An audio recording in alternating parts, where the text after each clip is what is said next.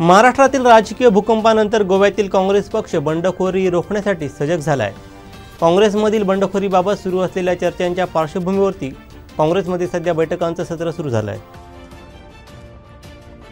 मोदी सरकारने केलेली गॅस दरवाढ आणि राज्यातील शिंदे सरकारनं केलेली वीज दरवाढ तसेच जेवणावर पाच टक्के जी एस टी लावण्याचा घेतलेल्या निर्णयाविरोधात राष्ट्रवादी काँग्रेसच्या वतीने पुण्यात आंदोलन करण्यात आलं आहे शिवसेना पक्षप्रमुख उद्धव ठाकरे यांनी आज शिवसेना खासदारांची बैठक बोलावली आहे. राष्ट्रपती पदाच्या निवडणुकीत पक्षाच्या भूमिकेवरती चर्चा करण्यासाठी या बैठकीचं आयोजन करण्यात आलं आहे. यापूर्वीच्या निवडणुकांमध्ये मनसे हा भाजपा रिपब्लिकन पक्षासोबत कधीच नव्हता. त्यामुळे मनसेला मंत्रिपद देण्याचा प्रश्न निर्माण होत नाही. अशाही परिस्थितीत मनसेला मंत्रिपद देण्यात येत असेल तर आमचा त्याला विरोध असेल अशी भूमिका केंद्रीय सामाजिक न्यायमंत्री रामदास आठवले यांनी केली आहे. भ्रष्टाचाराच्या प्रकरणात तुरुंगात असलेले महाराष्ट्राचे माजी गृहमंत्री अनिल देशमुख यांना पुन्हा एकदा मोठा झटका बसला आहे. विशेष सीबीआय न्यायालयाने अनिल देशमुख यांचा जामीन अर्ज फेटाळला आहे शिवसेनेने बहुमताचा आदर करावा केसेस तसेच याचिका मागे घ्याव्यात असं आवाहन बावनकुळे यांनी केलं आहे शिवसेनेकडून बंड केलेल्या सोळा आमदारांना तात्पुरता दिलासा मिळाला आहे सर्वोच्च न्यायालयाच्या निर्णयाशिवाय आमदारांवरती कोणतीही कारवाई करू नये अशी सूचना सर्वोच्च न्यायालयाने विधानसभा अध्यक्षांना केली आहे. गोवा काँग्रेसचे माजी अध्यक्ष गिरीश चोडणकर यांनी पक्षाच्या आमदारांना भाजपमध्ये येण्यासाठी चाळीस कोटी रुपयांची ऑफर दिल्याचा आरोप केला आहे सर्वोच्च न्यायालयाने विजय मल्ल्याला न्यायालयाचा अवमान केल्याप्रकरणी चार महिन्यांच्या कारावासाची शिक्षा सुनावली आहे तसेच दोन हजारांचा दंडही ठोठावला आहे यासोबतच माल्ल्याने कुटुंबियांना पाठवलेले चाळीस दशलक्ष डॉलरही परत करण्याचे आदेश सर्वोच्च न्यायालयाने दिले आहेत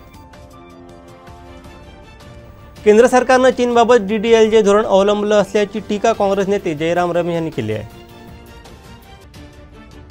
श्रीलंकेत सुरू असलेल्या आर्थिक संकटादरम्यान भाजपा नेते सुब्रमण्यम स्वामी यांनी नरेंद्र मोदी सरकारला इशारा दिला आहे श्रीलंकेतील परिस्थिती बघता येथील नागरिक भारतात निर्वासित होण्याची शक्यता आहे. संदर्भात भारताला काळजी घ्यावी लागेल असं स्वामी यांनी म्हटलं आहे शिवसेनेने थेट केंद्रीय निवडणूक आयोगाकडे धाव घेतली असून आमची बाजू ऐकून घेतल्याशिवाय धनुष्यबाण या चिन्हाविषयी कोणताही निर्णय घेऊ नये अशी विनंती शिवसेनेनं केली आहे. अग्निपथ योजनेवरून मेघालयाचे राज्यपाल सत्यपाल मलिक यांनी मोदी सरकारवरती पुन्हा एकदा टीकास्त्र सोडलंय. अग्निपथ योजना केंद्र सरकारनं मागे घ्यावी अशी मागणी मलिक यांनी केली आहे. शिंदे गटातील बंडखोर शिवसेना आमदार भरत गोगावले यांच्या कारचा अपघात झाले. भरत गोगावले यांचा ताफा ईस्टर्न एक्सप्रेसवरून निघालेला असताना आठ गाड्या एकमेकांवरती आदळल्या. रस्त्यात टॅक्सी बिघडल्यामुळे हा अपघात झाल्याची माहिती भरत गोगावले यांनी दिली आहे. सुप्रीम कोर्ट वेळकाढूपणा करत बेकायदेशीर सरकारला वेळ देत आहे असं वक्तव्य अरविंद सावंत यांनी केलं आहे रिझर्व्ह बँकेच्या उपाययोजनेनंतर देखील चलन बाजारात रुपयाची होरपळ थांबलेली नाही. आज डॉलरसमोर रुपयाचं बावीस पैशांचं अवमूल्यन झालं आहे नव्या निचांकी पातळीवरती रुपया स्थिरावला आहे कमोडिटी बाजारात सोने आणि चांदीचा नफा वसुलीला फटका बसल्या. आज सोमवारी एम सी एक्सवरती सोन्याचा भाव एकशे पन्नास रुपयांनी घसरला. एका वाहतूक पोलीस कर्मचाऱ्याला एका मुजोर कार चालकानं बोनेटवरून फरफडत नेल्याची घटना नवी मुंबईतील खारघर येथे घडली आहे.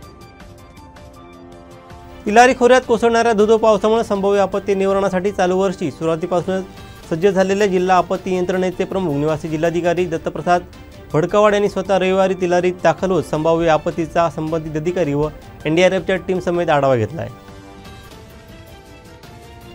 संदेश पारकर यांनी पुतळा स्थलांतरणासंदर्भात उच्च न्यायालयात दाद मागणार असल्याचं सांगितलं. त्याबाबत पारकर यांनी आमदार नितेश राणे समीर नलावडे उपनगराध्यक्ष बंडू हरणे नगरपंचायत प्रशासन जिल्हा प्रशासन व प्रांताधिकारी यांच्यावरती देखील आरोप केले आहेत. आंबोली रविवारी पर्यटकांनी हाऊसफुल झालेली असताना तब्बल पाच तासांपेक्षा जास्त वाहतूक कोंडी झाली होती. दुपारी दोन नंतर संध्याकाळी सात वाजेपर्यंत वाहतूक कोंडी झाल्यानं पर्यटकांचे मोठे हाल होत होते. सावंतवाडी शहराला पाणीपुरवठा करणारं पाणे कोण धरण एकादशीला ओव्हरफ्लो झालं आहे त्यामुळे शहरवासियांची पाण्याची चिंता मिटली आहे.